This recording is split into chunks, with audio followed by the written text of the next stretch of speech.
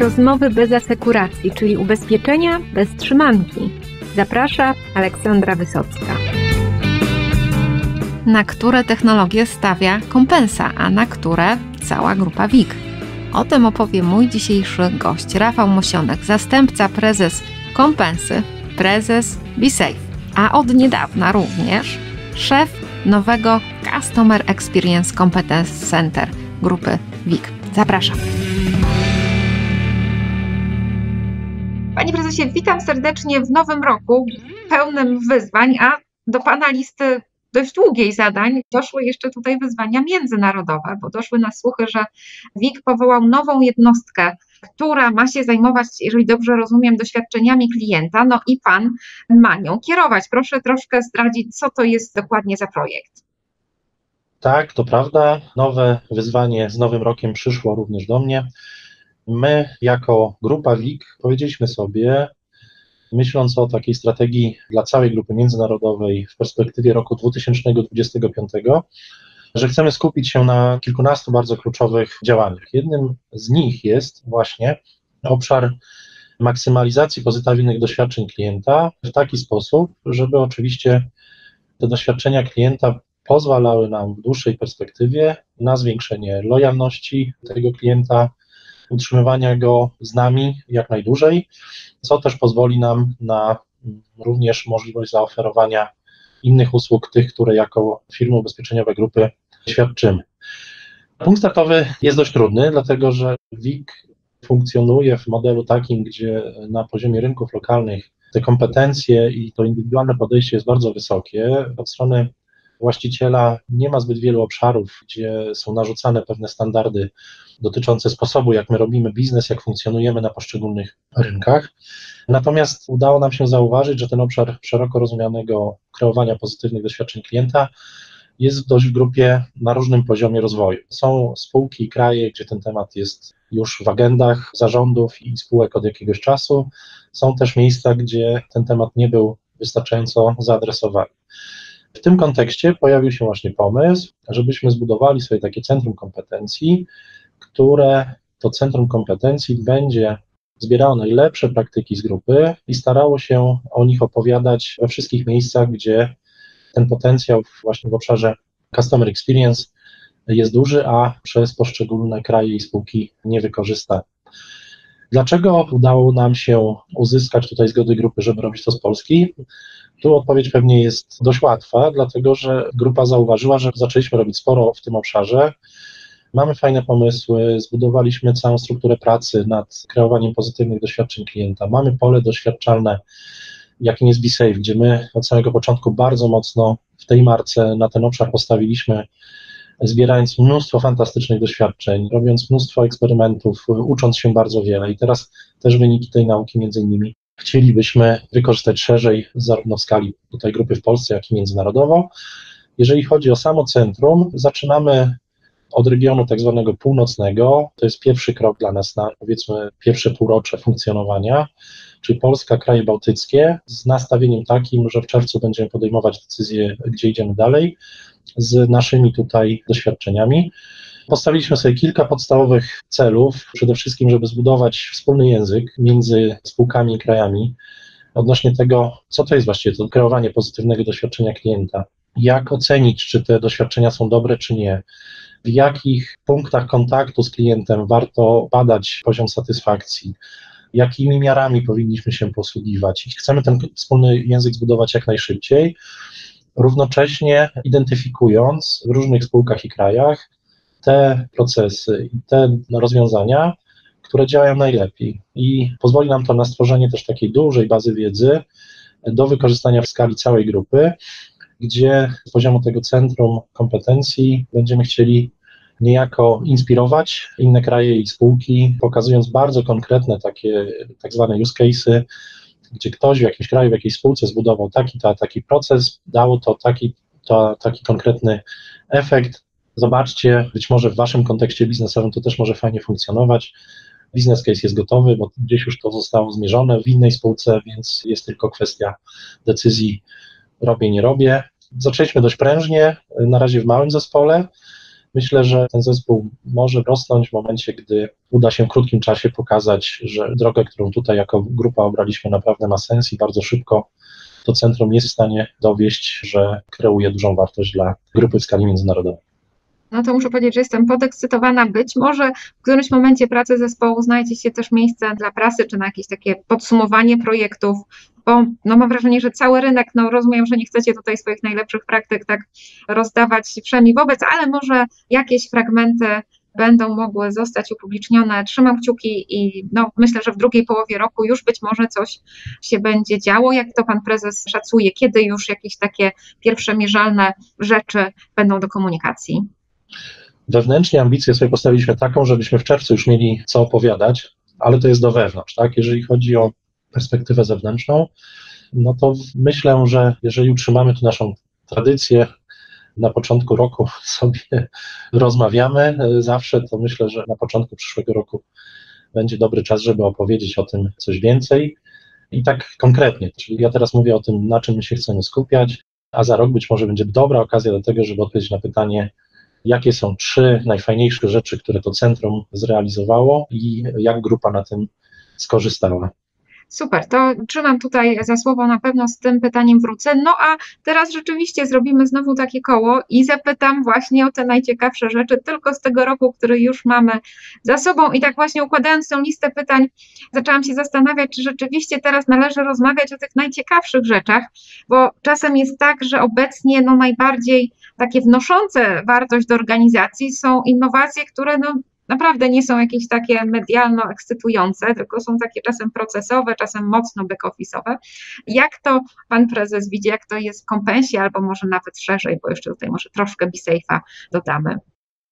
Myśląc o innowacjach, to rok ubiegły dla nas był takim okresem, gdzie my bardzo wiele rzeczy próbowaliśmy. Próbowaliśmy różnych pomysłów wygenerowanych w organizacji, Sprawdzaliśmy rozwiązania, z którymi też dotarły do nas firmy spoza organizacji.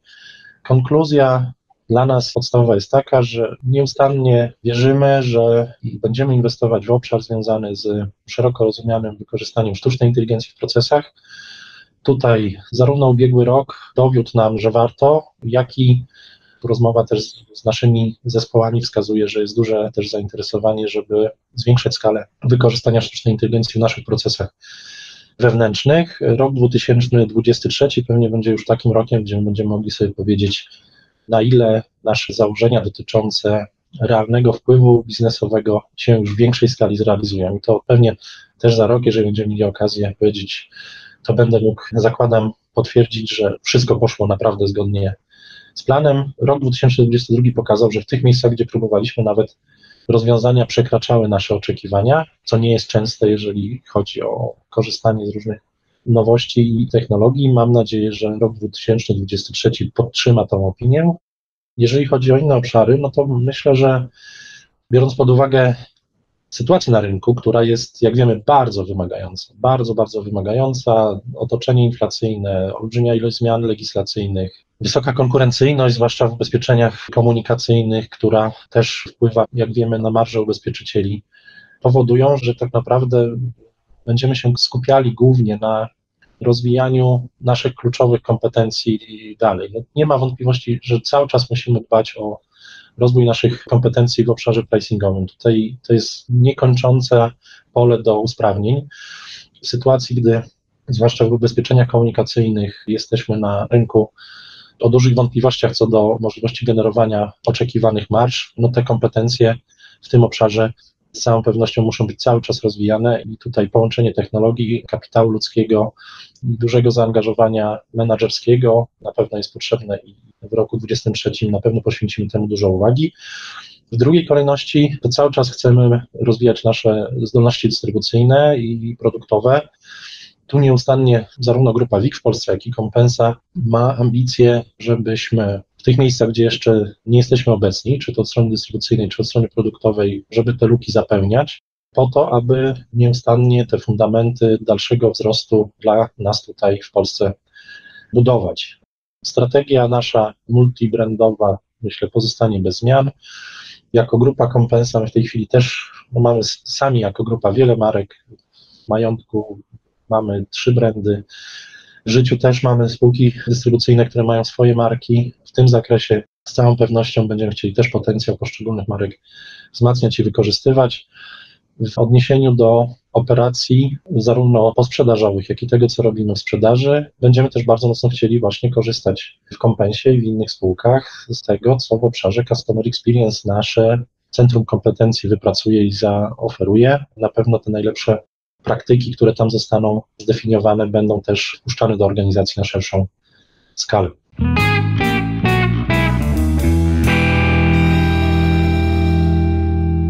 Wspomniał Pan o projektach dotyczących sztucznej inteligencji, które przekroczyły Wasze oczekiwania. Ja tutaj tak nieśmiało o jakiś może przykład, w jakim obszarze ta sztuczna inteligencja przekracza oczekiwania.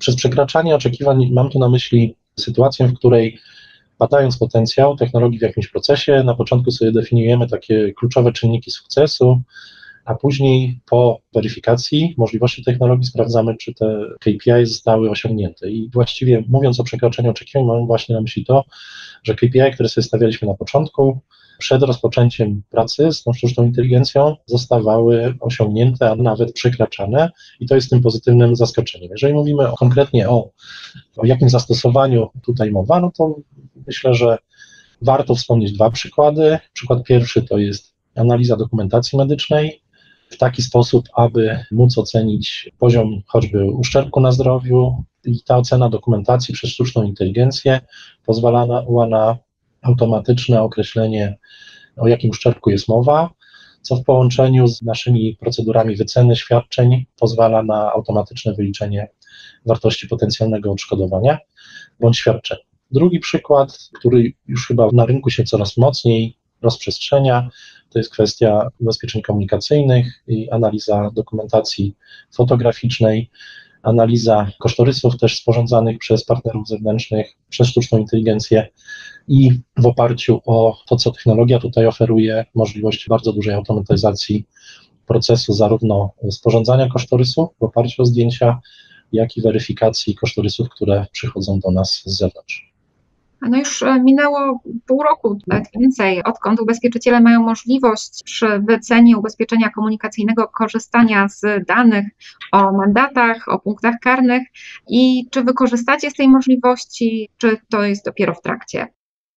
Ta możliwość w naszym przypadku jest jeszcze niewykorzystana. To jest część tego dużego zagadnienia, o którym mówiłem, czyli nieustannych usprawnień w pricingu, które jest zadaniem dla organizacji dużym na rok 2023.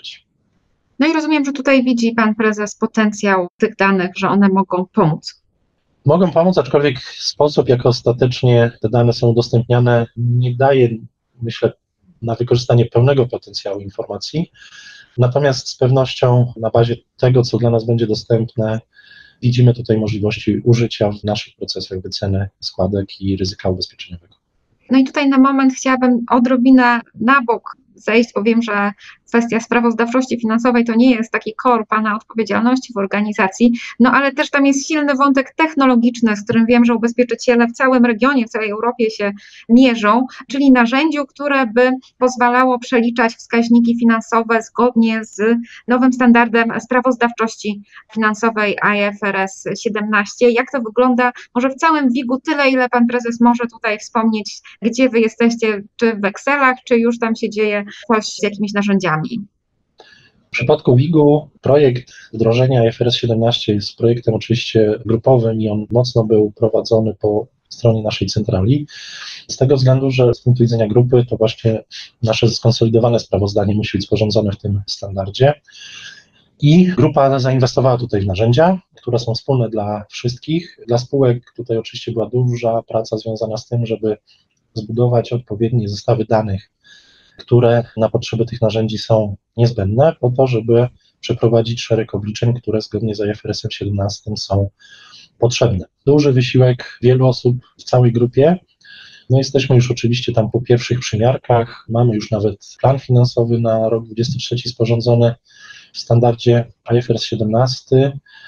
Myślę, że duża praca do wykonania, jaka jest teraz przed nami, to zbudować świadomość w organizacji, jak podejmowane dziś decyzje biznesowe będą odzwierciedlane w raportowaniu właśnie według tych nowych standardów i to jest jeszcze praca tutaj, na którą my się umówiliśmy w firmie, ale do wykonania w najbliższych tygodniach, bo biorąc pod uwagę fakt, że to raportowanie do akcjonariusza w tym standardzie jest dla nas obligatoryjne, możemy sobie oczywiście wyobrazić, że też zmiana tego języka komunikacji między nami a akcjonariuszem, jeżeli chodzi o oczekiwania, będzie następowała i przesuwała się z dotychczasowego standardu, w którym sporządzaliśmy nasze sprawozdanie na rzecz nowego standardu i ten rok 23 będzie takim rokiem na pewno przejścia od starej rzeczywistości do nowej rzeczywistości.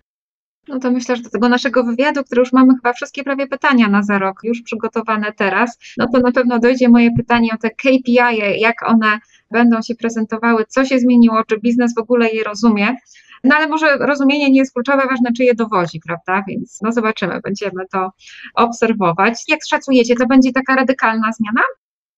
Myślę, że nowy standard skłoni do refleksji w pewnych obszarach, zwłaszcza w tych miejscach, gdzie dyskusja o tym, czy priorytetem powinien być udział w rynku, czy jednak maksymalizacja rentowności, może doprowadzić do podejmowania też jakichś decyzji na poziomie takim strategicznym, czyli na co się nastawiamy, jak to wpływa na naszą przyszłą strategię funkcjonowania. Tak? Ten nowy standard wymusza, w mojej ocenie, autorefleksję taką, jeżeli chodzi o pewne obszary biznesowe. Natomiast no my jeszcze jesteśmy w przeddzień tej dyskusji, więc dzisiaj absolutnie nie podejmę rękawicy, żeby powiedzieć, czy to wpływa jakkolwiek na naszą strategię, czy nie. Natomiast zidentyfikowaliśmy sobie kilka obszarów do dyskusji, co do których w perspektywie na pewno kilku najbliższych miesięcy powinniśmy mieć ostateczne rozstrzygnięcia, w którą stronę idziemy. Tak więc wydaje się, że ten nowy standard rachunkowości może też doprowadzić do pewnej reorientacji takiej strategii biznesowej.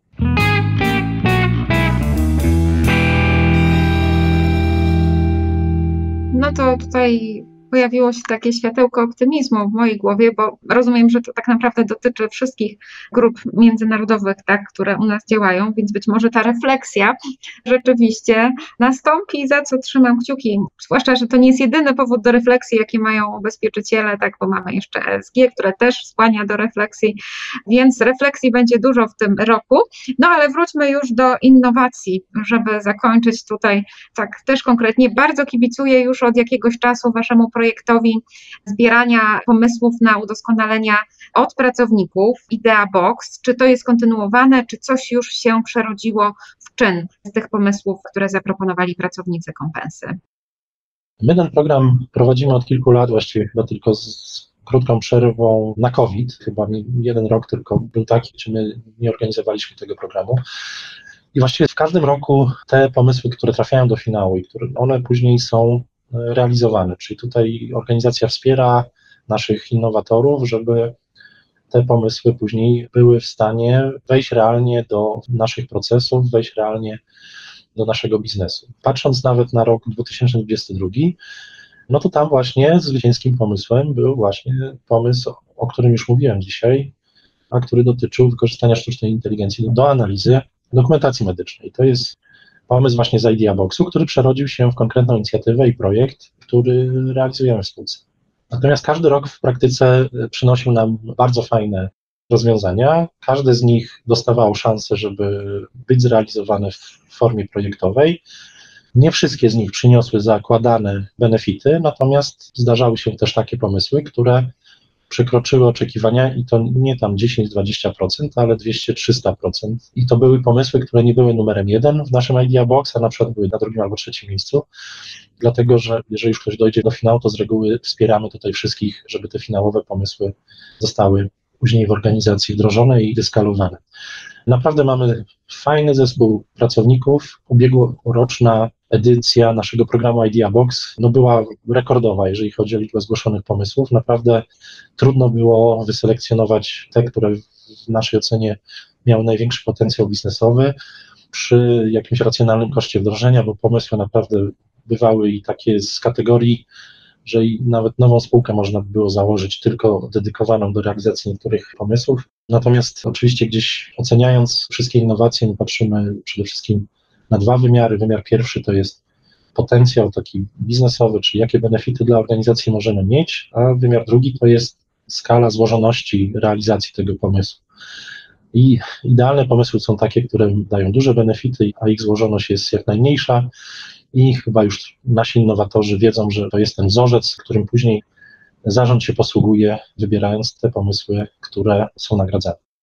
No dobrze, więc już tak zupełnie konkludując dzisiejszą rozmowę, tak na planach na nadchodzący, to właściwie już ten rok, który trwa, takie kluczowe, absolutnie priorytety z perspektywy technologii, innowacji dla Pana i kompensy to? Wykorzystanie przede wszystkim potencjału tego, co mamy, bo my zbudowaliśmy bardzo dużo rzeczy od strony technologii i od strony również takich kompetencji, które mamy w organizacji, które możemy na pewno w znacznie większej skali wykorzystać.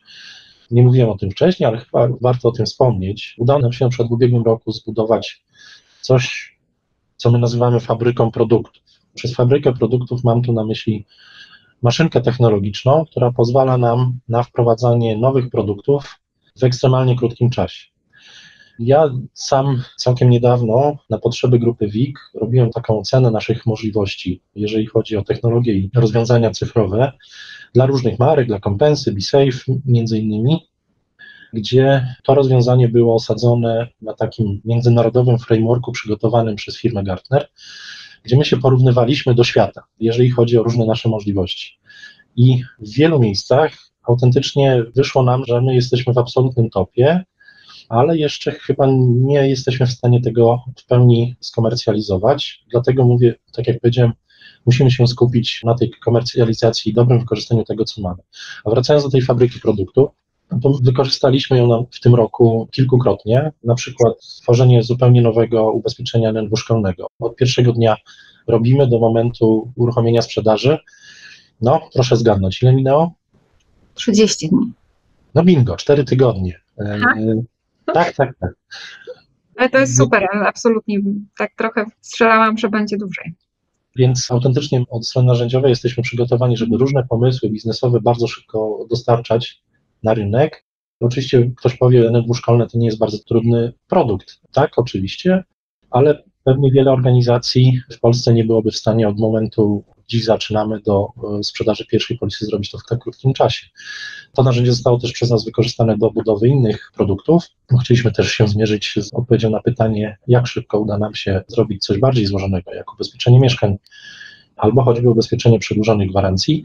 No i doświadczenie uczy, że nie mówimy wtedy o kilku tygodniach, mówimy o trochę dłuższym okresie dla takich bardziej złożonych produktów, ale i tak to jest po prostu rewelacja patrząc na benchmarki rynkowe. I teraz chciałoby się powiedzieć, czy my potrzebujemy jeszcze większych inwestycji w nowe rozwiązania po stronie technologii. Odpowiedź brzmi, jak dla mnie, jako osoby, która odpowiada też za IT, tych inwestycji nigdy za mało, tak? No ale z drugiej strony, mając tak ciężki rok, jaki ze względów wielu czeka nas, mam tu na myśli rok 2023, kluczowy aspekt dla nas to wykorzystanie tego, co mamy, aczkolwiek pracujemy nad co najmniej dwoma projektami, które mam nadzieję też zaskoczą rynek w bardzo niedługim czasie. Nie jest to jeszcze moment, że mogę o szczegółach rozmawiać, ale mówimy tutaj o miesiącach, bo jeszcze chcemy je uruchomić komercyjnie przed wakacjami. Myślę, że też będzie czas, żebym ja albo kto inny z kompensy o tym opowiedział. No to już nie mogę się doczekać. Bardzo dziękuję za rozmowę. Trzymam kciuki za realizację zamierzeń, za pricing, za refleksję KPI-owe i myślę, że no ten nasz wywiad za rok na pewno nudny nie będzie. Dziękuję bardzo za możliwość rozmowy i zarówno pani redaktor, jak i wszystkim osobom, które będą miały okazję obejrzeć, życzę fantastycznego roku 23 w niełatwym czasie, niełatwym otoczeniu, w jakim żyjemy. Wszystkiego dobrego.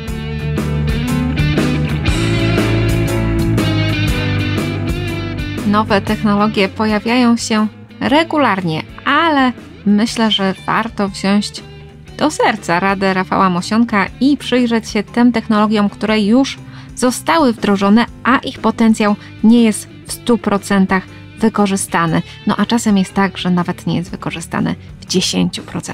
Dziękuję za wysłuchanie tego odcinka i do usłyszenia w kolejnych.